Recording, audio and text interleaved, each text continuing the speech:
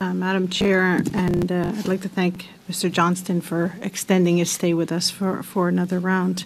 Um, just following up on that last line of question, the difference between a public inquiry versus the current um, process that is underway. Um, I think a lot of folks are forgetting the fact that a public inquiry is actually named in order by an order in council, which is cabinet. A lot of folks are forgetting the fact that a public inquiry is actually named in order by an order in council, which is cabinet. A lot of folks are forgetting the fact that a public inquiry is actually named in order by an order in council, which is cabinet.